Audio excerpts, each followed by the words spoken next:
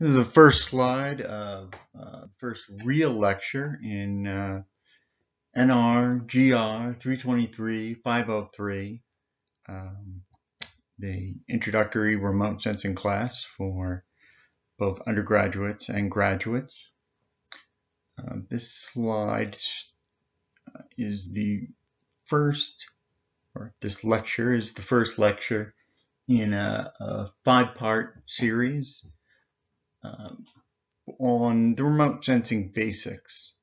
So we're going to discuss what is light, what is color, atmospheric scattering, surface characteristics, and then commonly used spectral bands. But before that, we're just going to look at this very simple drawing, giving you an idea of the remote sensing process. Um, on the left, you see um, the observations that we make. You can see the A there, the next to the sun. That's a energy source. Most of remote sensing that we do um, uses the sun as an energy source. Um, you can see B. There's some interaction between that energy and the atmosphere. Talk about that in atmospheric scattering. Light travels through the atmosphere and down to the surface of the Earth.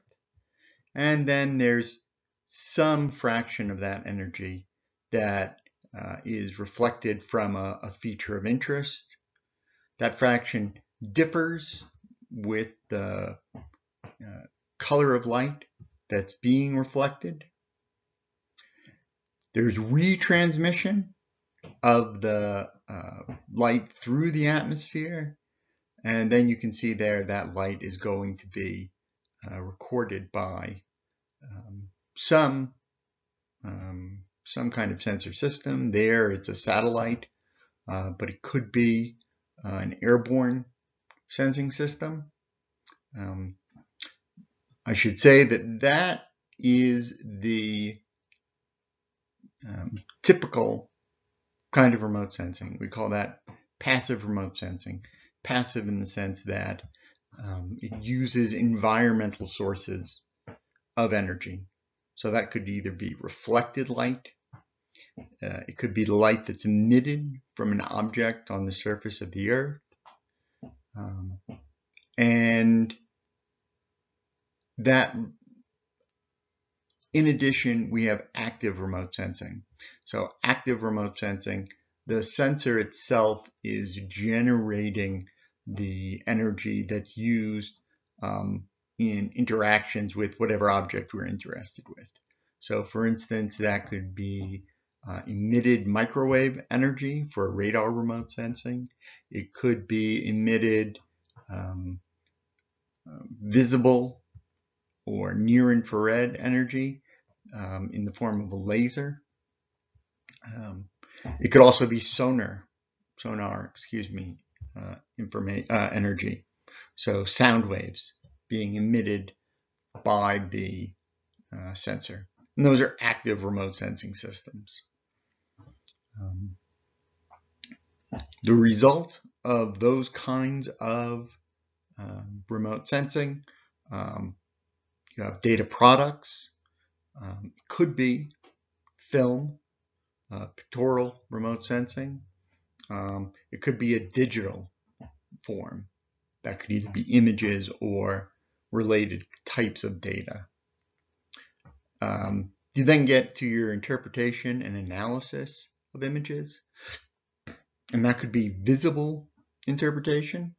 Um, so you're observing with your eyes what's going on and maybe annotating that in either uh, in a physical system or uh, an electronic system, or the data that you've collected using your active or passive system could be uh, going into a, a digital system for processing.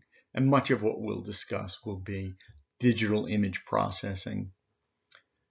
The result of the interpretation analysis will be information products. So maps, measurements, um, images, um, and then those information products are circulated to users.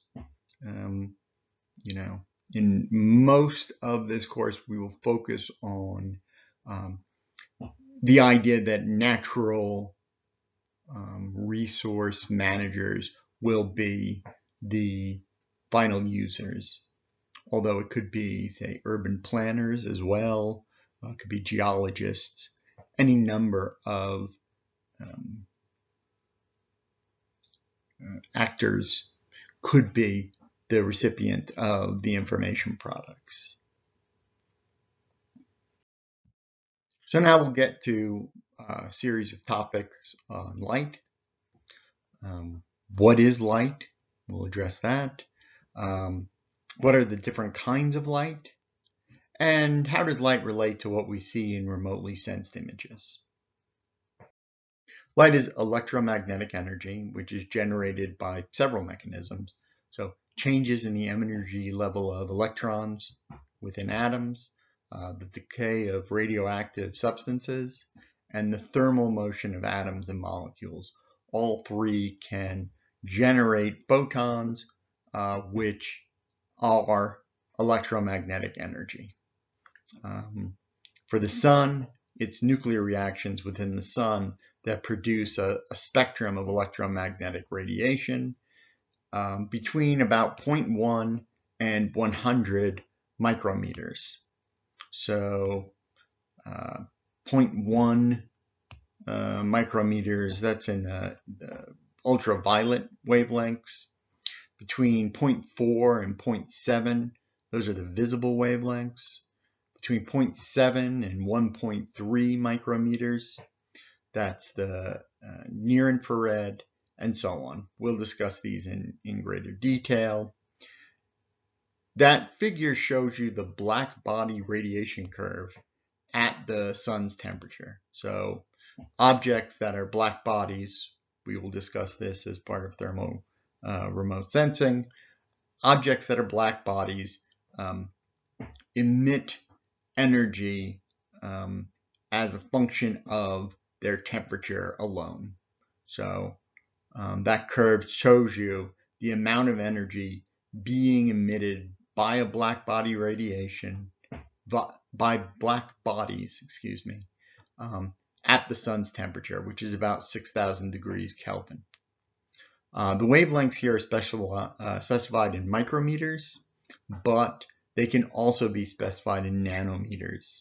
So um, a micrometer is a thousand nanometers. So that range there would be between uh, 100 and 100,000 nanometers. So again, where is electromagnetic radiation coming from? The sun is the most obvious source. However, all matter at temperatures above absolute zero, i.e. zero degrees Kelvin or negative 273 centigrade emit electromagnetic radiation. So the sun on the left, on the right we have, you know, I don't know if those are horses or zebras. Um, either a horse or a zebra. Um, and in that image, we're showing the, the temperature as um, a pseudo color image. So objects that appear blue are colder, objects that are red or white are hotter. Um, and the amount of electromagnetic uh, radiation an object generates is just a function of its temperature.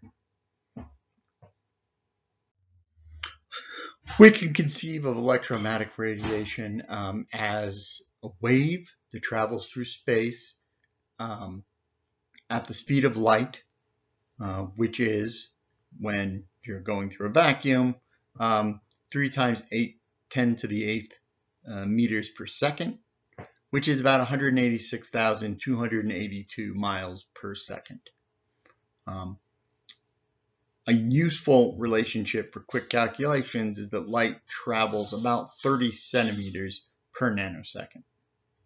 And light can also be thought of as packets of energy.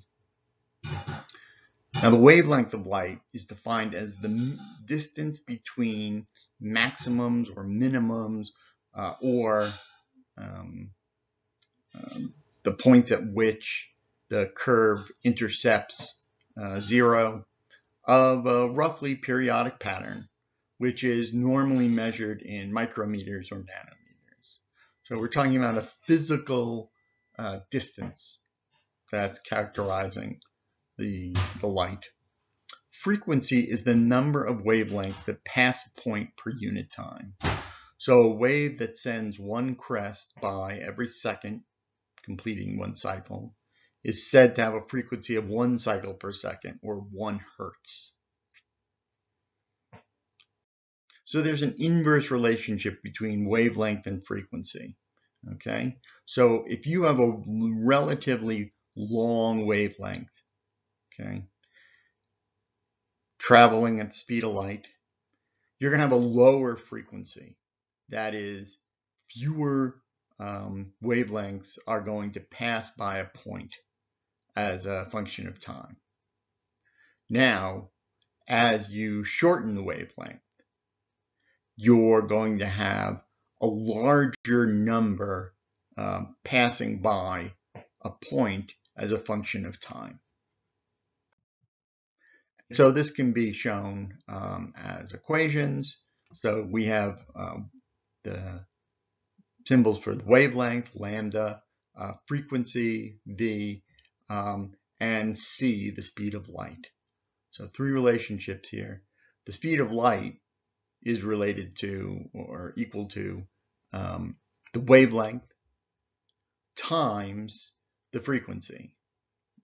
So if you know how long the wavelength is, you know how many times it's passing beyond a, a point, then the speed of light is just one multiplied by the other. Um, the frequency is equal to the speed of light divided by wavelength. So if you cut up um, a distance of the speed of light by that many wavelengths, then what you're left with is the frequency. And alternatively, the wavelength is equal to the frequency divided by the speed of light. So the longer the wavelength, the lower the frequency. And this is my first opportunity to tell you that um, for almost all of the equations that I present as part of this course, um, you are responsible for knowing how the variables are related, but I don't ask you to do calculations. Um, so you'll never see a, you know, a question of given the speed of light and the wavelength, what's the frequency? So all objects give off or emit electromagnetic energy. The type of energy being emitted is a function of the temperature, and as the temperature increases, the amount of energy increases and the wavelength gets shorter. So if you look to the left at that figure on the x-axis, you have um, the wavelength in micrometers and the y-axis as the relative radiated energy. And you have various objects at various temperatures, starting at 79 degrees Kelvin, which is liquid air, um, 195 degrees Kelvin, which is dry ice, um, 300 degrees Kelvin, which is the average temperature of the Earth, um, all the way up to 6,000 degrees Kelvin, which, as I said, is the sun. And as you go up in temperature, number one, the area under the curve increases. So that's the, the relative energy being emitted. And you can see the peak um, of each curve moves towards shorter wavelengths. Um, and right there near the peak of the 6000 degree Kelvin or sun curve is the portion of the spectrum that is visible light. So the sun gives off um, its maximum energy in the range of wavelengths that we consider to be visible. And there's a simple relationship um, that allows you to predict the wavelength of maximum emission as a function of temperature. So this is Wien's displacement law, and it just says that the wavelength of maximum emission, the top of that curve, is equal to a constant divided by temperature, and that constant is 2,898 uh, micrometer degrees Kelvin. Again, I'll never ask you to make this calculation, but I may ask you to tell me as the temperature increases, what's happening to the wavelength. So some various units of length used in remote sensing, and I, I want to stress that when you're thinking about wavelengths, you're thinking about physical distances.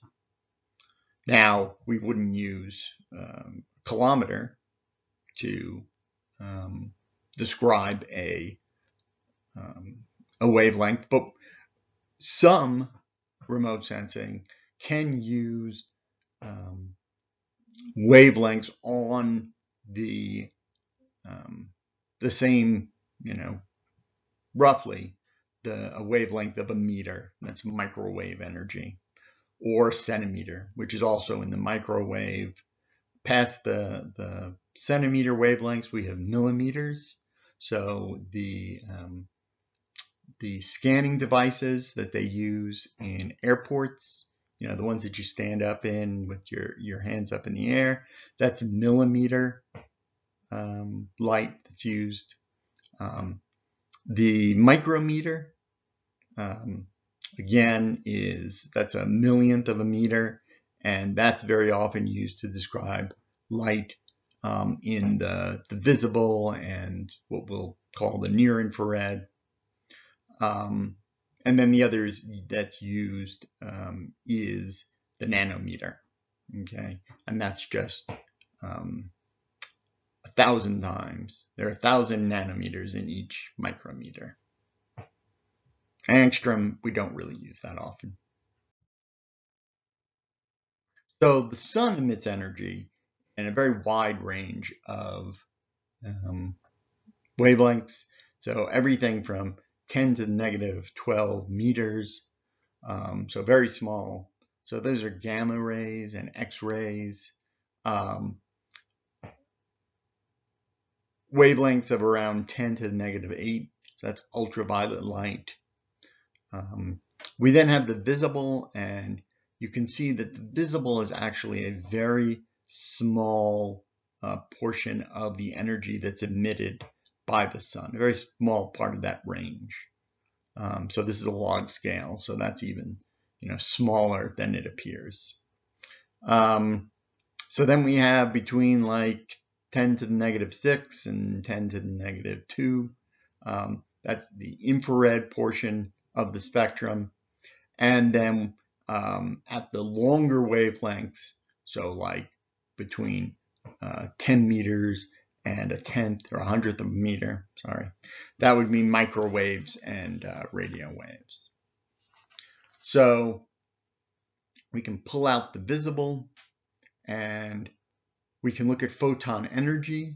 So smaller uh, wavelengths have more energy, okay? Longer wavelengths, as you might think, have lower energy. And this is relatively easy to remember because, you know, the very shortest wavelengths, um, things like gamma radiation and have x-rays, um, those have enough energy to pass through your body, uh, sometimes causing damage on the way. Again, showing an even uh, smaller range of um, the spectrum, we can look at um, the, the common wavelengths that we would see on the earth. And, you know, that's everything. Um, you can ignore the, the left set of, of numbers there that go between 0.41 and 3.1. Those are uh, in units of electron volts, which we don't use very often.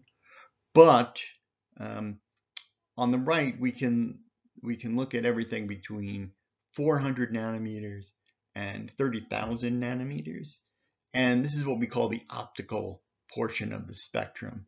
And really all that means is it's the portion of the spectrum that acts like light that we're familiar with. So 400 nanometers is the uh, distinguishes between ultraviolet light and uh, violet light. 450 nanometers is where you go from violet to blue. Um, green is 500 to 550. Um, yellow is 580 to 600. Orange is 600 to 650. And red is 650 to 700. Um, in general, for simplicity's sake, I only talk about blue between 400 and 500 nanometers, green 500 and 600 nanometers, and red 600 and 700 nanometers. Beyond red, we have the near infrared. So infrared just means beyond red. Um, and the near infrared is just that portion of the infrared that sort of is adjacent to red. And um,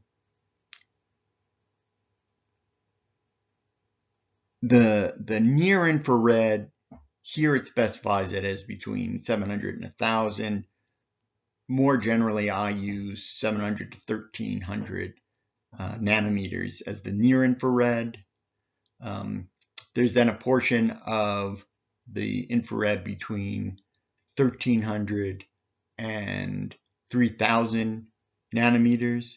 That's the shortwave infrared. And then between 3000 and 14,000 is the thermal infrared.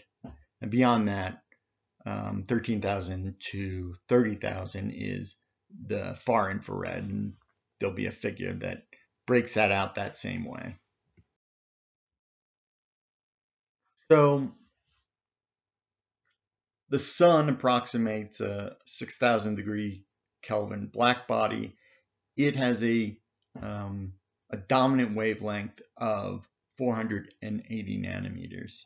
And in the figure to the left, you can see um, the breakdown of light from the sun. You can see it follows um, that typical curve for a black body.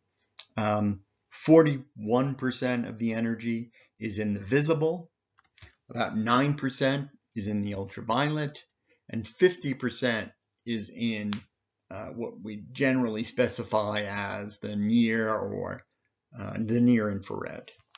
Um, so one thing to note here is that half the energy from the sun is in the near infrared. And so we don't generally um, um, we can't see the near infrared, but there's an awful lot of energy there. So near infrared is going to be very important for remote sensing. And uh, here it's near infrared and just a little bit um, into the mid infrared. Um, and you can see here blue, green, and red. Um, they have approximately the same amount of energy. So that's um, the distribution of the sun's energy. The Earth, because it's a 300 degree Kelvin black body, its dominant wavelength is much longer. It's about 9,660, you know, roughly 10,000 nanometers. And you can see that you that is in longer wavelengths. And we're going to make a distinction between um, reflected electromagnetic energy and emitted um, electromagnetic energy.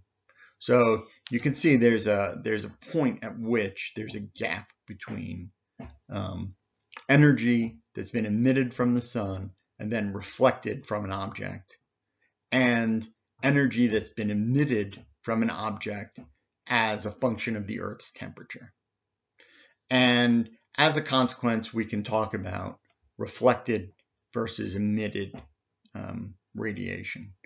This is just a function of the contrasting temperatures between um, the sun and the earth. Um, if the earth um, was hotter, then it would have shorter wavelengths and there might not be a clear-cut distinction between the reflective and um, the emitted infrared. Or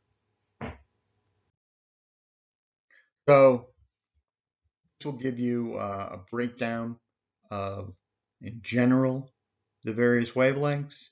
So um, ultraviolet is about um, 300 to 380 nanometers. Um, the visible, uh, that which we see uh, between 380 and 720 nanometers. Near infrared, again, about 720 through 1300 nanometers. Mid infrared, 1300 to 3000, and far infrared or thermal infrared, uh, 3000 to 14,000. And you can see there's some slop in terms of how we refer to things. You know, I've got both the the longer and the shorter names here, near infrared, NIR, I will say as well, mid infrared or MIR, uh, shortwave infrared, um, or SWIR, and then far infrared, FIR, also known as the thermal infrared, TIR. And then we have the microwave and the radio portions of the spectrum. I don't talk about those as much. And um, in the visible spectrum, we can see there are um, six colors being identified there. Again, you know, I tend to, or I will, uh, lump together violet and blue, so 400 to 500, um, green and uh, yellow and orange between 500 and 600, uh, nanometers and then red between 600 and 700. And part of that is because, as we'll see, those are the independent ranges of color that your eyes can see. And we'll discuss that.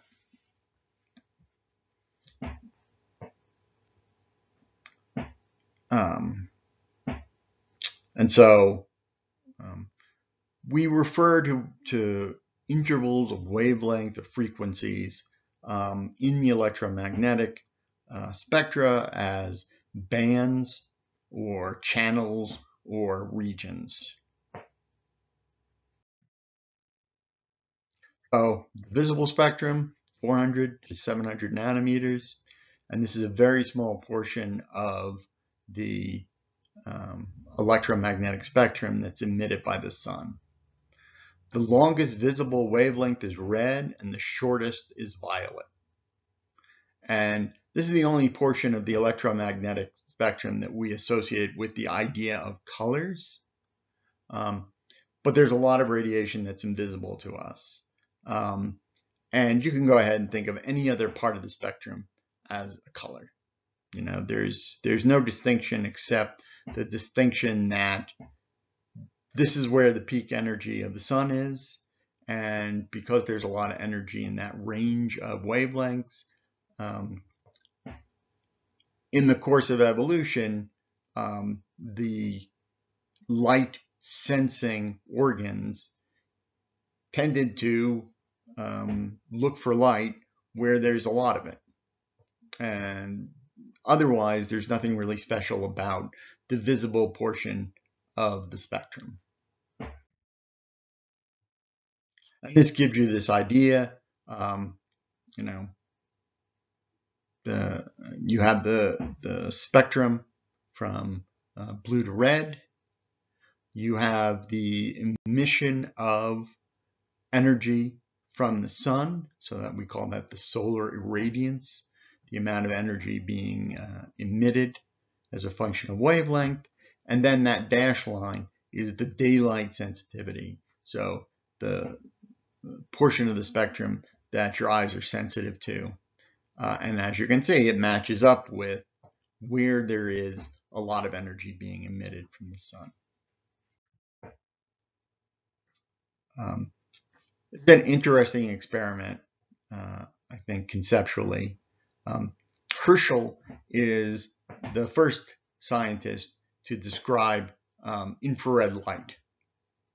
So his experimental setup was he has a, a box, he has a prism, and he has three thermometers.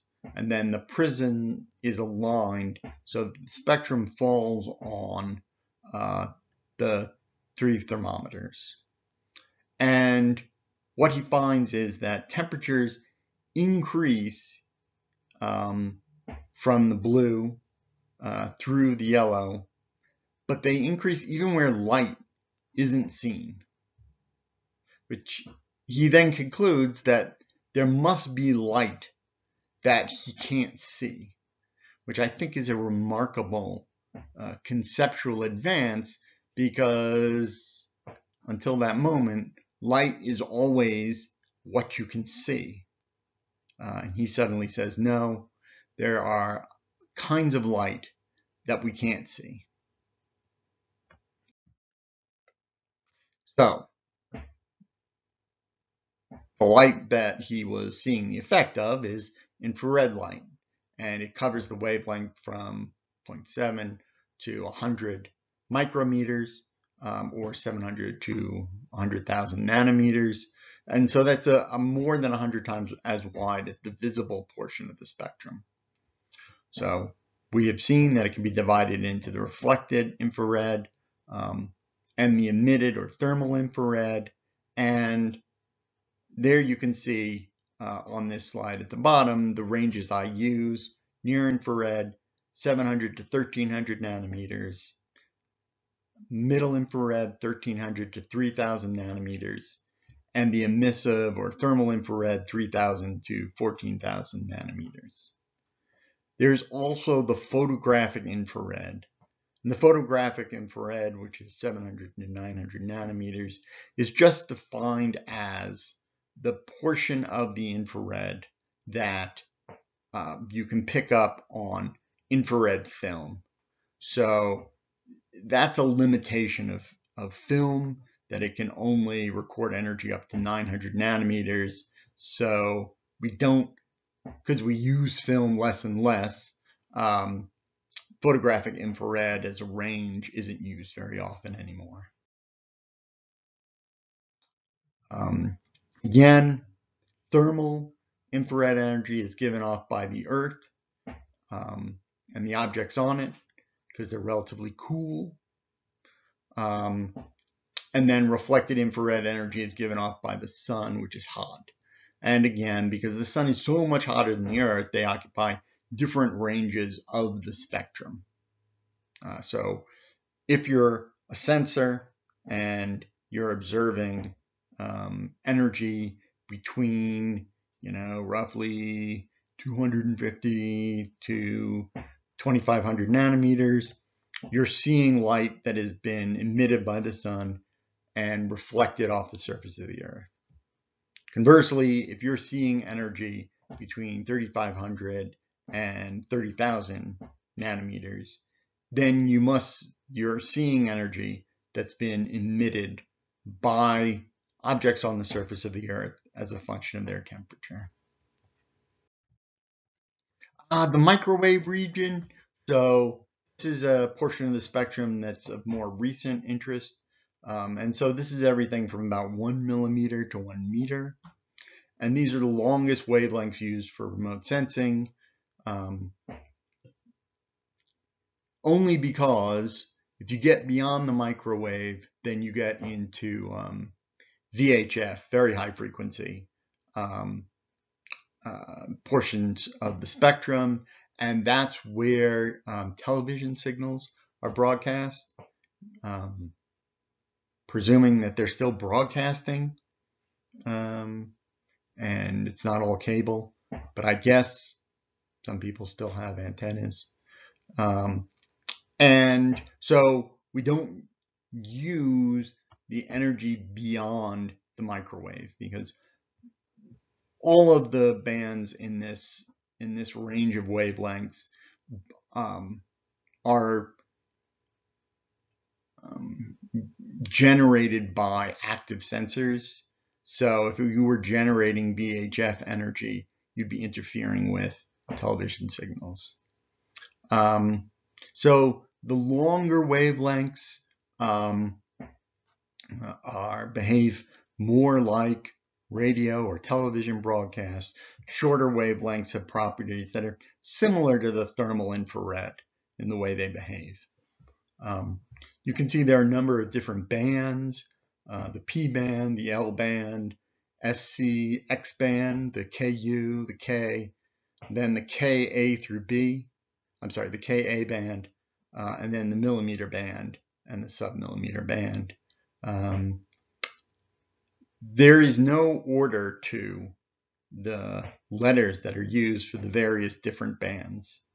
Um, and the reason is that um, microwave microwave region is used for radar, and radar was uh, military um, military technology, and so they wanted to confuse spies, um, and so they just gave them sort of a um, names that were random as a function of wavelength, and so that would confuse people.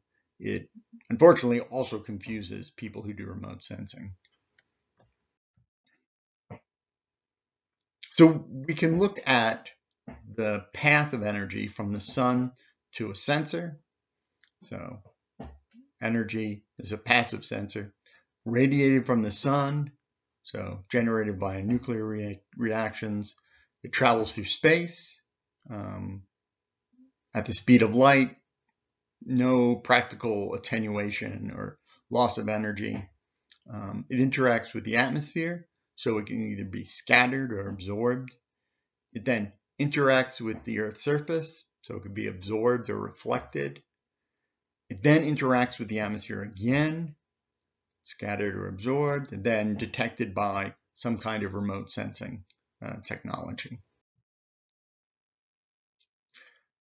The atmospheric um, uh, transit is an important one because um, not all the energy gets through the atmosphere.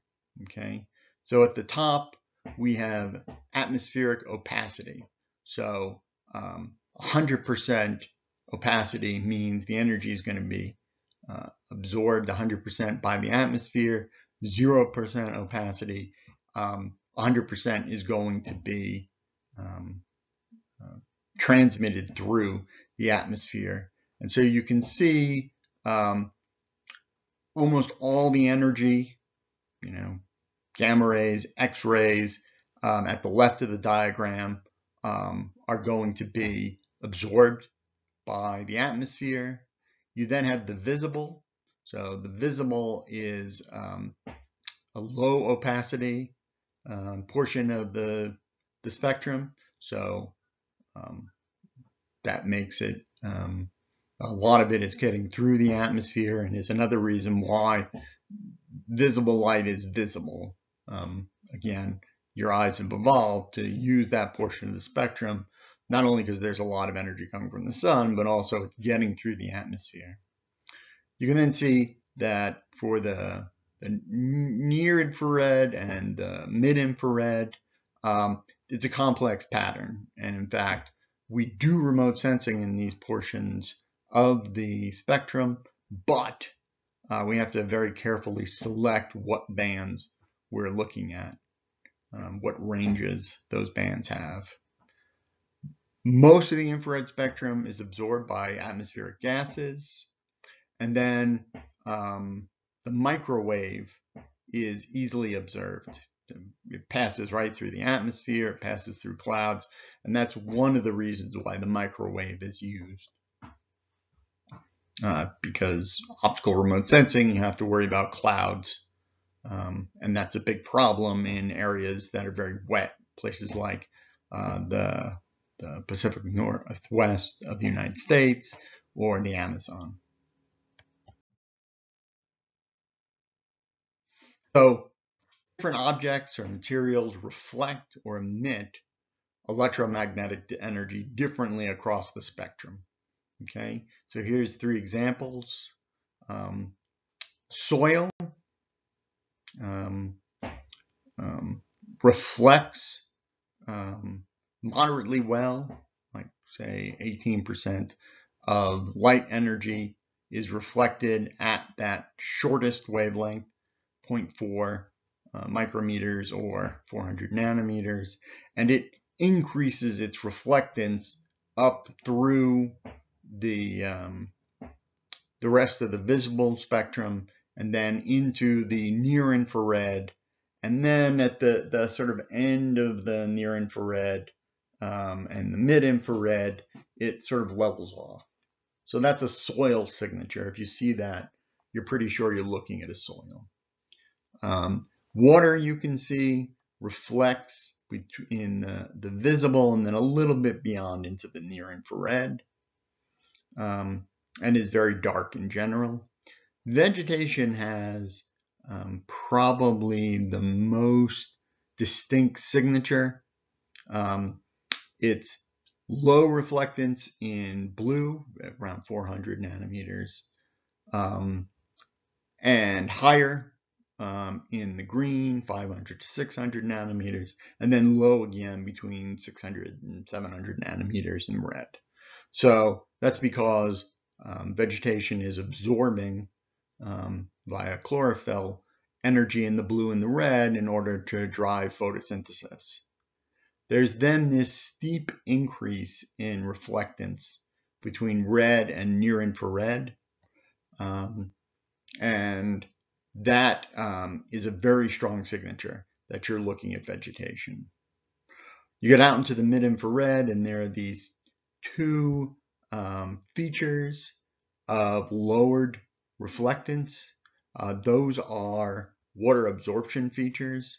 So uh, you're looking at the energy that's being absorbed in uh, by the water that's actually in leaves.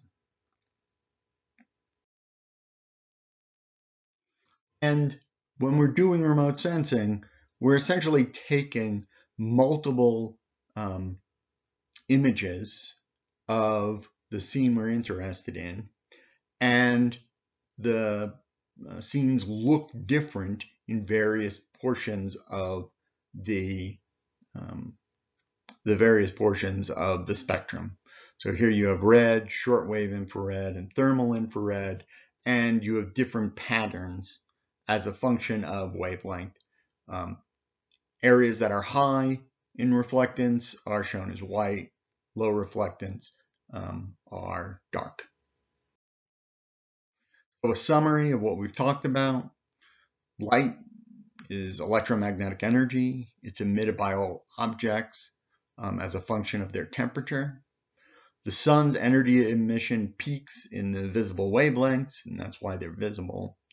Um, Remote sensors are detecting emitted energy at different wavelengths. We talked about what uh, the terminology for some of those wavelengths. And some wavelengths of energy pass through the atmosphere, others tend to be absorbed.